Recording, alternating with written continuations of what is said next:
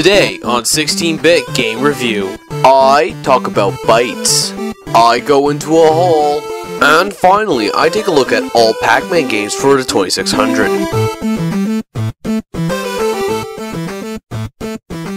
Hello and welcome! Today I'm going to be doing a mini review of Pac-Man for the Atari 2600 or video computer system.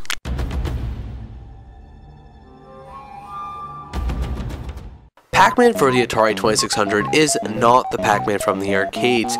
It's a very, very limited port, and it was made this way because of limitations by the management of Atari. Atari wanted as many of these cartridges out, and they wanted to be made as cheaply as possible. So they decided to use the 4 kilobit ROM cartridges rather than its bigger 8 kilobit cartridges. Just for scale, this picture of Pac-Man, the actual picture itself, is 23.1 kilobits. The game was 4 kilobits.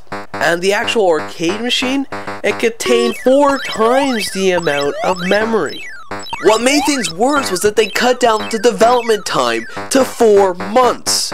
Which means that there was no time to actually make the bloody game.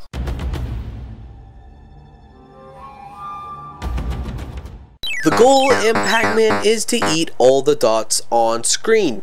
And then you move on to the next round, and the next round, and the next round, until you lose.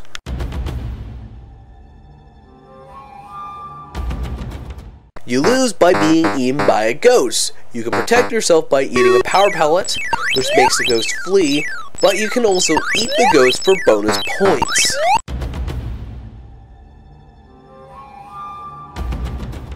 This game is ugly. The end. Gone are the neon tube structures and bright, vibrant colors, and in comes these dark, plain, brown-like colors and very, very unappealing shapes and sizes. Nothing really stimulates you, and everything, including the ghosts, aren't good looking. They could have done so much more with the Atari, and in fact, they did with Miss Pac Man and Pac Man Jr. The fact that they can do those tells me they could have done it with this.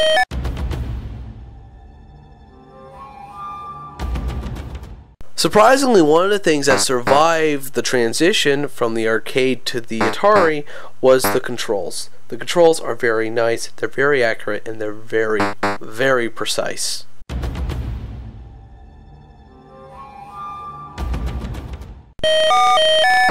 That just hurt my ears.